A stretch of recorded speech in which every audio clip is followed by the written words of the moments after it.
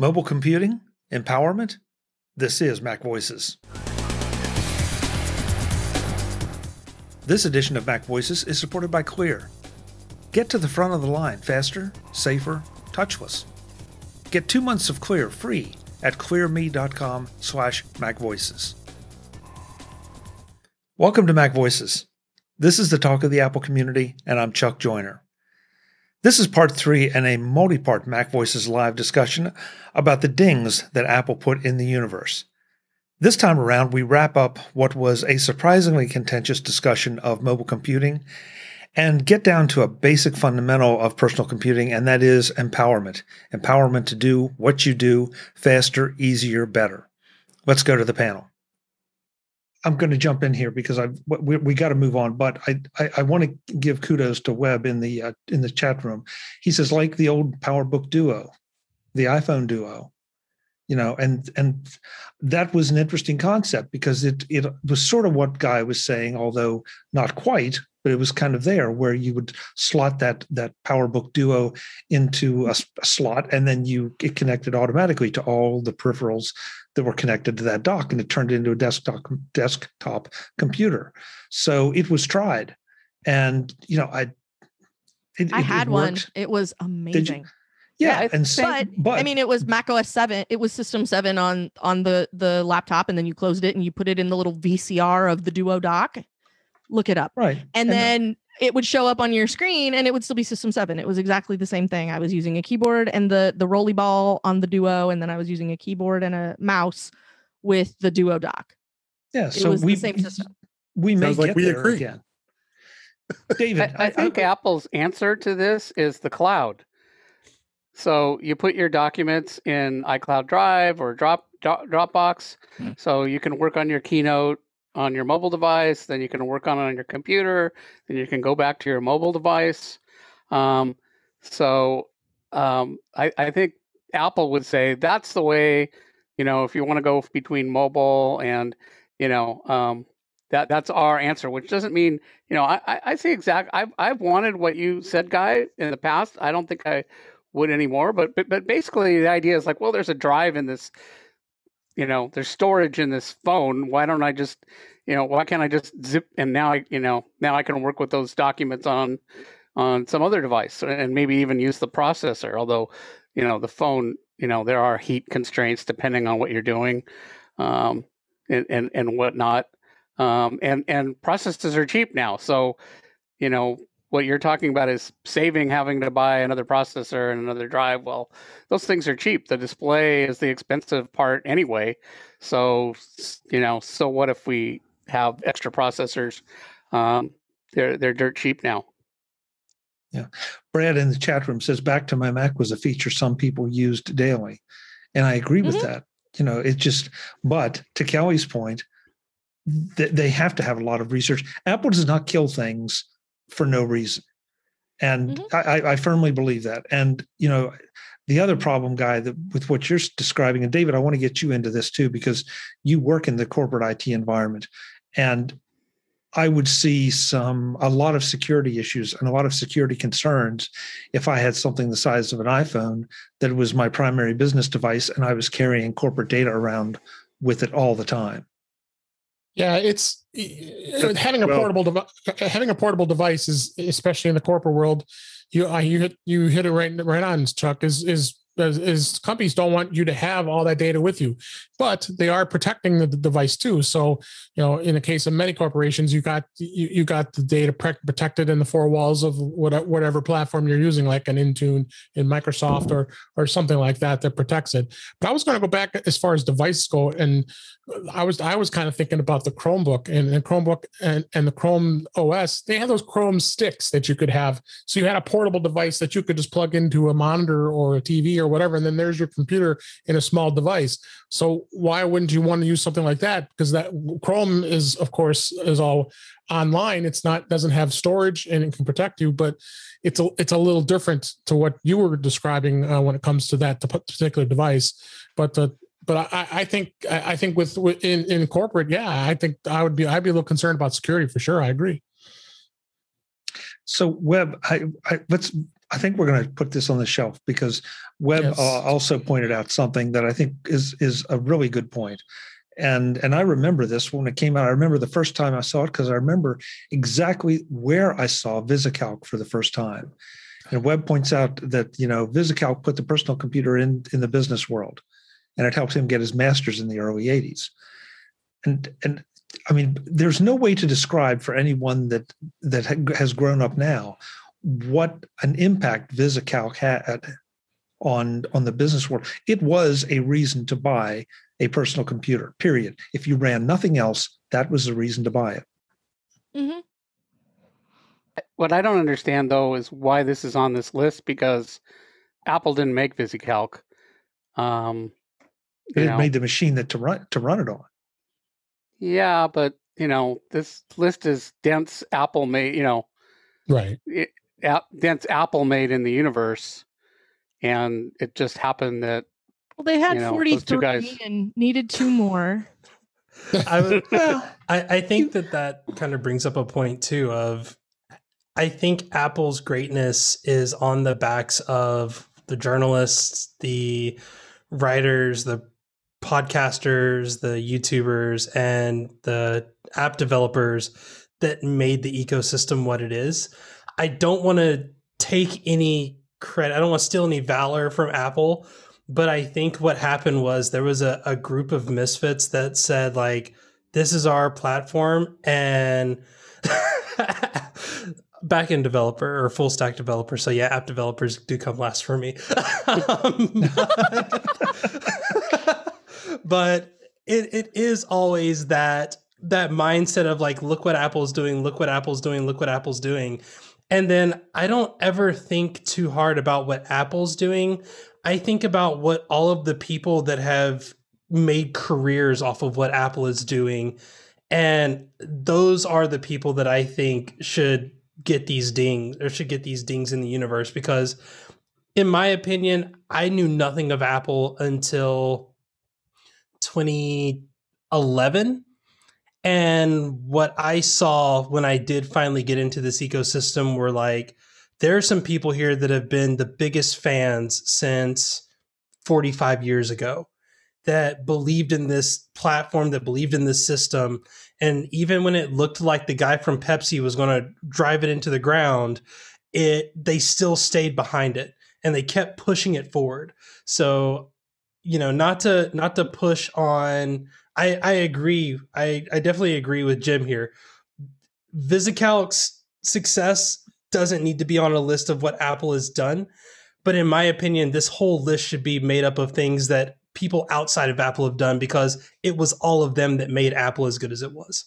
Well, and I want to clarify too that VisiCalc definitely belongs on a top 10 list of things in the computer industry in the last 50 years that have that have made a dent, you know, in the mm-hmm. industry. Uh, VisiCalc was huge, like Chuck said. I just don't understand why it's on a list of, you know, why is Apple Things getting Apple credit? Did. That's the only thing I don't yeah. understand. But VisiCalc was, you know, that still has re, well, you know reverberations well, to this day. Well, okay, so I I would repeat that Apple, you know, Apple built the built the computer that VisiCalc was built on. So that was the first spreadsheet that anybody saw, and and that that was I'm not going to say a partnership, but you're right. And, and at that point, if, if, if memory serves, and I'd have to go back and do the research, I'm not sure there was a PC at that moment to put mm-hmm. to, to build VisiCalc on. To put anything. So th- there, it was before the PC, but there were other personal computers. There there there were CP/M computers, and you know there were people selling software for that, and you know, yeah, but there was, but there was nothing approachable, Jim. I mean, from a, for a, for a business guy back then, you know, the Apple II was something they could justify because they knew they could understand it and know how to use it. A CP/M computer in those days, I mean, that those were like the real geeks in the back room, the back room of the back room. Today's Mac Voices is supported by Clear. Get to the front of the line faster, safer, touchless. Zoom meetings are great, but there's nothing like doing business face to face. To make that happen, business travel is going to be more important than ever before. And if you are traveling for business, you know that time is money, and that's why you want to sign up right now for Clear.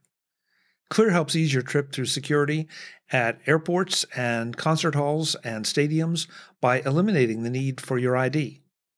Step into the clear lane at over 35 airports nationwide and use your eyes or your face to be recognized in seconds. A clear ambassador then walks you to the head of the security line, and you are through and on your way to that next important meeting, your next important phone call, or a little extra time to catch up on your email. Enrolling is easy. Start online, finish up at the airport for the first time, and you're all set. You can even start using Clear right then and there. Over 5 million people are already using Clear for seamless experiences at airports, stadiums, concert halls, and more nationwide. You need to be the next one to sign up. Right now, for a limited time, you can get your first two months of Clear for free. Go to clearme.com slash macvoices and use the code macvoices. Once again, that's clear, C-L-E-A-R, me, M-E dot com slash macvoices with the code macvoices for your first two months of Clear for free.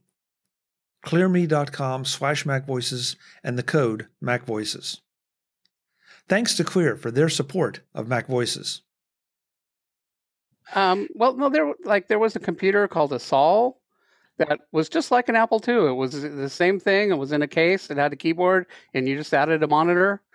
Um, so um, that you know there were comparable things and and actually i i would give you know I, i'd almost reverse it in some ways you know visicalc gets a lot of credit i think for apple's success um, the fact that you know those guys happened to write visicalc for the apple uh, that's you know sold a huge amount of uh, of Apple twos and propelled Apple, right. you know, right up the ladder. Without mm-hmm. without VisiCalc, you know, we might have subtracted, you know, all these 45 other items.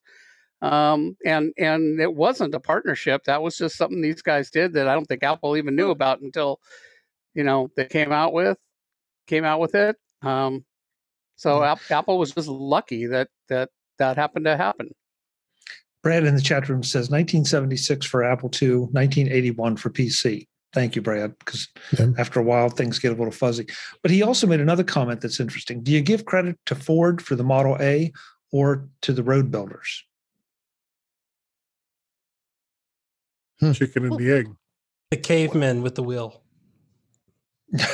well, I think, like, think they were nuts it, by then. I mean, if you want to talk about the ding, like what you want to talk about is what it enabled people to do, right? Desktop publishing enabled people to have a different kind of job and to be able to maybe run that out of their house or whatever. And it enables Jim to have supported himself for lo these many years as a software developer for this particular platform. It enables Jay to have the job that he has. It enables me to have one of my jobs as a person who sits in the back and smarts off about whatever it is that they're up to next. And you know, and it enables people to be better in touch. Like think about how many miles Okay, think about how many hours of FaceTime have happened in the last 12 months. Think about what it enables people to do. Think about what what it makes possible. Like Brittany's job is possible because of this technology. My other job is possible because of this technology. All of us hanging out here is possible because of this technology. All of these things that that we do and that we now sort of take for granted are all things that have been enabled by the sorts of things that Apple has has developed and released. Uh, well, and that, Kelly, I think that comes down to the bottom line about what personal computing is all about. It's, I mean, we all love personal. to geek out on the hardware. What did I say? What no, is yeah. a computer? Personal. No, personal. Like it's the personal. Yeah. They're putting the, the personal in the computing, and like, right. you know, yeah. What right. I have, you know, this here has more technology in it than we used to send and retrieve successfully people from the moon. I always add the sure. part about retrieving people because everyone mm-hmm. forgets that like they all made it home okay. So this a this has more higher horsepower than we used to send people to the moon and bring them back. And and what I can do with that as part of my day like i feel like that the personal of personal computing is the part that doesn't always get its due. And that's the part that Apple's really, really good at. Because otherwise, like my family could not have technology and my family would not be able to FaceTime each other and, you know, stay in touch and all that kind of stuff. Because my family are not a technical people. It's cool. I'm adopted. It's fine. but they're they but like they're they are not technologically inclined and yet they have iPhones and the ones who have computers have Apple computers and we've enabled and it enables them to have the technology in their lives that they want and use it the way that they want to and they don't have to be me in order to get that done and we are all still really impatient because a lot of the discussion here has been about what's next I mean, usually we don't do these kind of look back shows, but this this article struck me as something as as a good fodder for some discussion. And I knew we'd split the other way and talk about okay, we've we've had this. This is what we want. This is where we're going. Kelly, to, to your point, though, I, I, did want to point out my personal favorite for some obvious reasons. Number 33, Apple enables the podcasting boom. I mean, mm-hmm. think, think you're, you're right. Mm-hmm. We couldn't be doing this without a, so much of the Apple tech that came before, and specifically the iPod, which mm-hmm. you know kind of helped create podcasting. Let these let these very niche kind of things, these very specific interest kind of things, possible. Otherwise, we'd still be at the mercy of the big networks and you know maybe think, maybe something would have developed mm-hmm. along the way but they mm-hmm. got there first but i think people they, forget that the the pod in podcasts is because of ipod like right. that's where the word comes from and right. i know nobody wants to talk about an ipod anymore because they're you know they're the creaky old grandpas of technology these days and that's fine and you know like the amount of grief that I'm going to get from people for being able to hold this up on screen and say that I still use it and be able to show you the 30 pin cable I use to charge it regularly, you know, I get it. It's fine. Um, I do not look forward to your letters. I will not be taking questions at this time. However, like the like I think it's a thing that sort of gets overlooked a lot of times, you know, because Spotify has paid podcasts and all these other things are happening, you know, and people are making all these all these paid things and all these money. But like think about all the podcasters and think about all of the stuff that you have gotten to listen to. Again, maybe more so in the last year. And you know, all of that has been enabled as a direct result of Apple putting out the iPod and people going, well, what else can I put on this besides Napster music? I've heard allegedly. Frank, you've been awfully awfully quiet. You worry me because that usually means that there's a storm. It means he's up to something. Yeah, yeah. what me? yeah, yeah. no, I'm. That I'll, very I'll, convincing. I'll, Bravo, be, Frank. I'll be quite honest with you. I, I uh, everything that remember when we first came on, I said everything was breaking down. I had one AirPod go out. I had to recharge that, got that one in. Then the other one went out, put that one in. I'm trying to re- follow our chat. And then you start talking about Webb, and I'm like, oh, geez, how do I get the YouTube chat up? and I'm following all the other conversations. So, so you you're just you're you're on information overload. I think the whole I, the, mm. from what I was getting, you know, because eh, the conversation being a person who's not a real uh well I, I, I know nothing of tech. I'm one of those people if somebody says oh i used model well like when um when guy mentions his microphones and he'll give a model number. I know nothing of model numbers. I'm sort of in the vein of uh i don't know if you ever heard of paul mccartney? He has this guy and all he does is take care of his basses. McCartney has no idea the names or the numbers of his basses, what kind of strings he uses, or anything. He has this guy just take care of it. So, what I do is I'm coming at this technology from that angle. I use it to make podcasts. I know how to operate it to make a podcast. Why it can do it, I haven't a clue. Mm-hmm but I know that I can use it to meet the goals I want to achieve. And that's kind of what it's all about. You know, I, I mean, we we love the stuff. A lot of us here love it, and some of us are into it deeper than others, and others, some of us are into it, some aspects of it deeper than others. But at the end of the day, it's all about achieving whatever it is uh, that you want to achieve.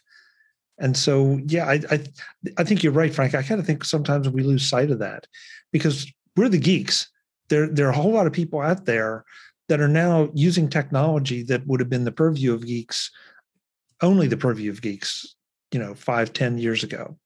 So, you know, what do you mean? Speak for yourself, Jay. What?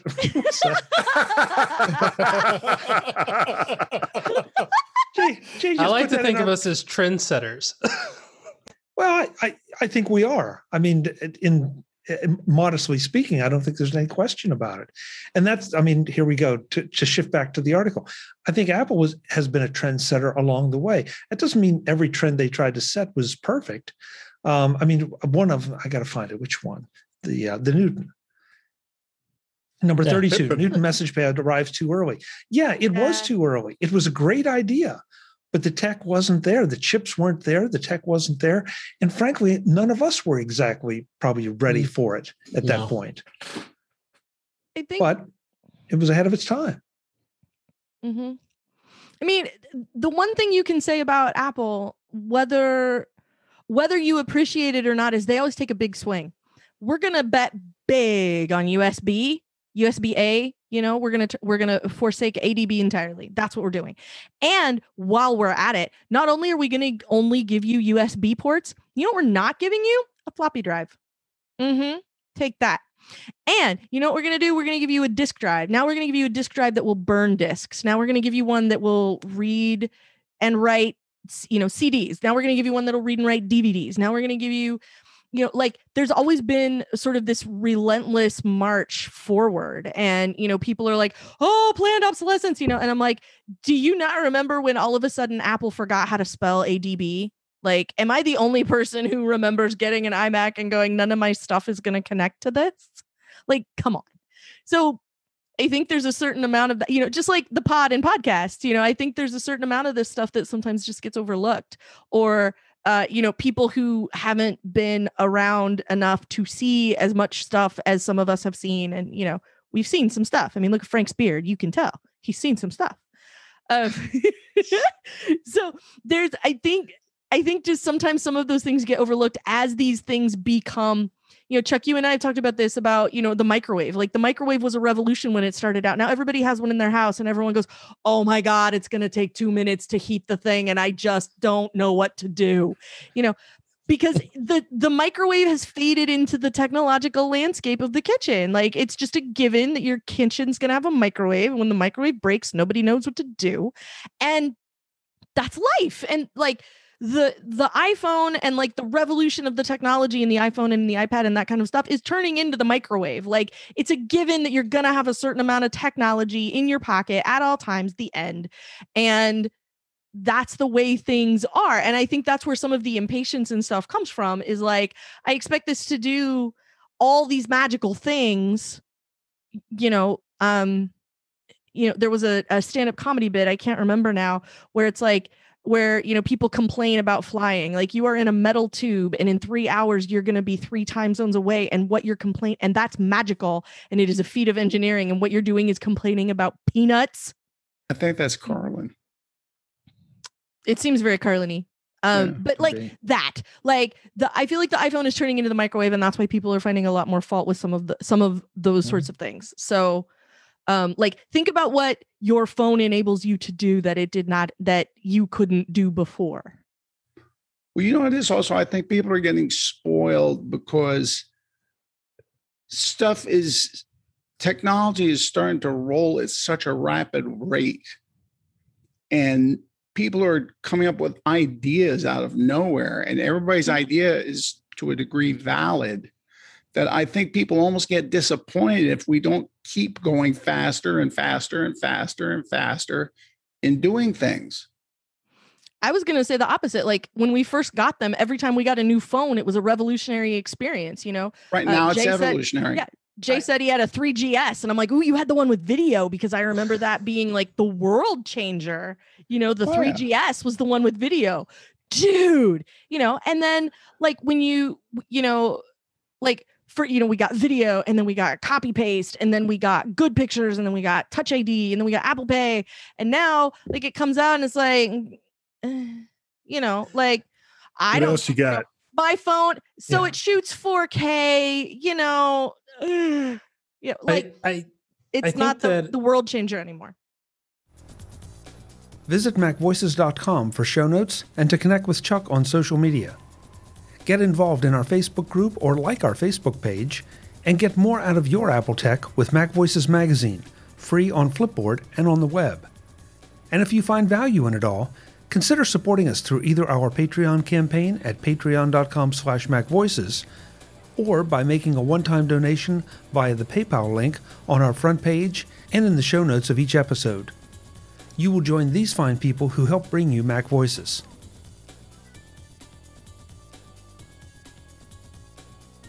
Advertising handled by Backbeat Media at backbeatmedia.com. Bandwidth provided by CacheFly at cachefly.com.